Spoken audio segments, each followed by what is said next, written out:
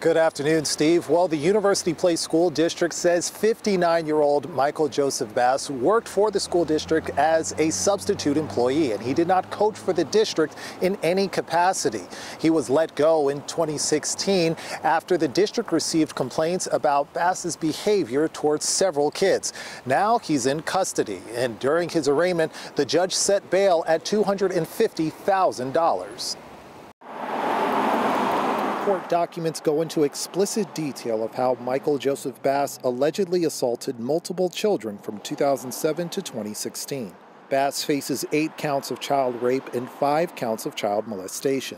Court documents say Basse would offer alcohol to intoxicate some of his victims before assaulting them, and the assaults would range from oral to penetrative acts that took place over a course of years. So far. Lauren Cochran represents some of the victims who have come forward and says Basse would look for kids who were in vulnerable situations. He made himself seem like somebody who could help take on the troubles that a lot of kids have.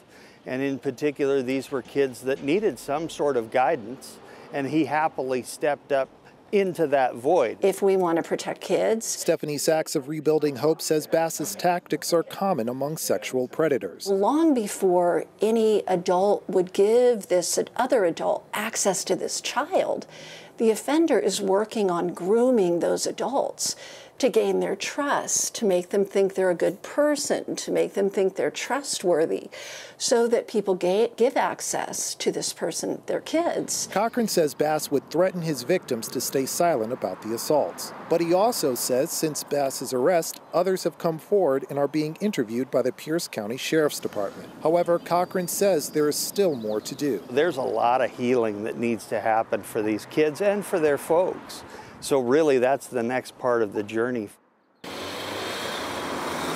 Now, it's important to note that at this point in time, there's no direct evidence that connects Basse's time with the school district with these alleged assaults. And it appears that Basse worked as a youth baseball coach and a martial arts instructor here in Tacoma. Basse's jury trial is scheduled to begin on June 14th, but more charges could be filed if more victims come forward. But for now, we're live in front of the Pierce County Jail. Lionel Donovan, King 5 News. If you or anyone you know has experienced sexual assault, call Rebuilding Hope's 24 hour crisis line at 253 474 7273.